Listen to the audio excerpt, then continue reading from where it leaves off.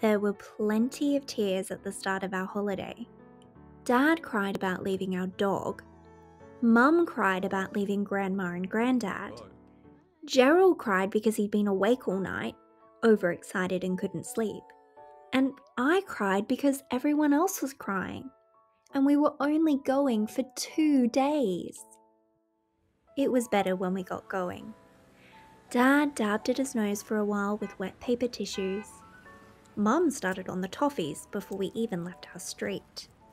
Gerald went straight to sleep with his mouth open.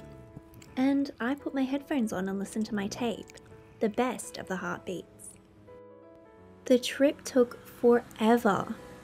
Nothing much happened on the way, except a girl in a bus stuck her tongue out at me. Mum and Dad sang songs I didn't know. Oh, and Gerald threw up. At the campsite, things picked up. There were these people on motorbikes.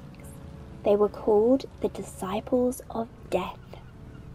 Dad didn't like the look of them. Don't go near them, said my dad. Stay away from them, Gerald, said my mum. They had a dog with goggles that rode up on the petrol tank. It was the best thing I ever saw in my life. Then the kids in the bus arrived. Must be some kind of school outing, my dad said. My mum was walking around with toffee papers stuck on her seat. Gerald sat in the sand playing with his plastic charging rhino, and that girl stuck her tongue out at me again. Then we put the tent up. At least we tried to put the tent up. Dad couldn't figure it out, although Mum got her bit up. I looked after Gerald, who kept wandering off. The disciples finally showed us how. Dad looked nervous and smiled at them a lot. We didn't go straight into the water. Dad wanted to enjoy the sun. We've got the beach to ourselves, he said. it's so peaceful here, my mum kept saying. And Gerald was happy enough, just blubbing around in the sand the girl from the bus fell right out of the sky onto Dad. He wasn't too pleased. You've got the whole beach and you land on me. So we shared the beach with the school kids. They played this cowboys getting shot game to see how far they could roll.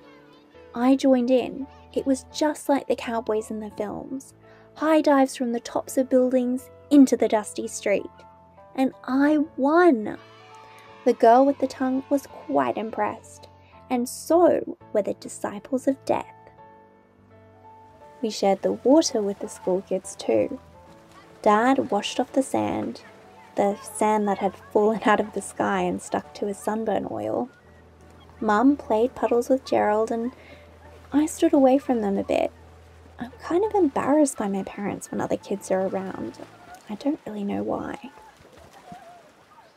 The school kids went back for lunch with their teachers. Fancy seeing your teacher in just a pair of flowery shorts.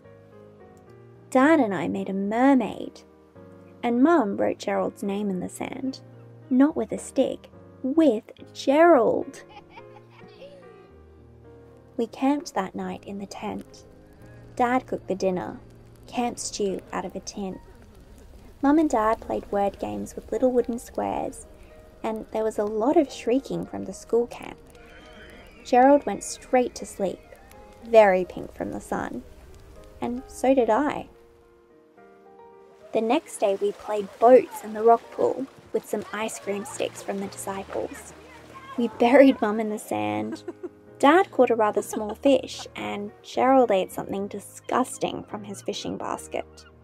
And we slept our second night in the tent. In the morning, we all packed up.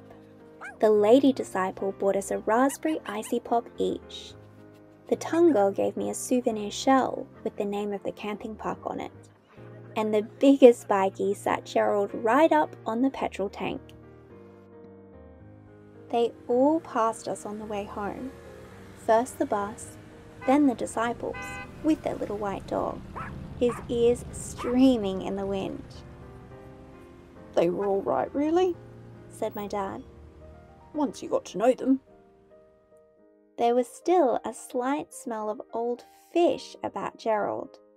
Dad held him at arm's length. Let's get Gerald into the bath, my mum said.